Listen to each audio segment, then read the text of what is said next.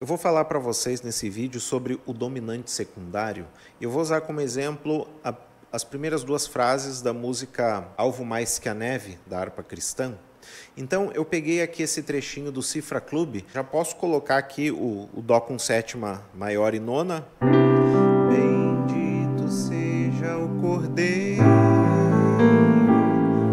Ó, esse acorde que eu estou fazendo, no caso é o Lá maior, só que eu estou colocando a sétima e a nona bemol.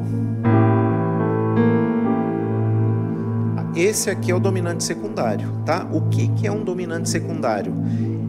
É o quinto grau de alguém, mas que não faz parte do campo harmônico, tá?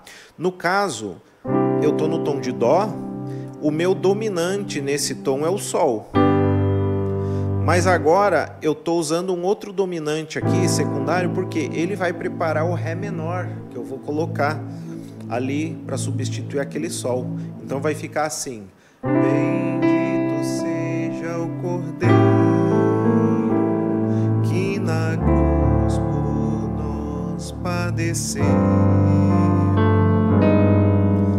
E eu termino aqui ó, com Sol, com sétima, nona bemol décima terceira bemol.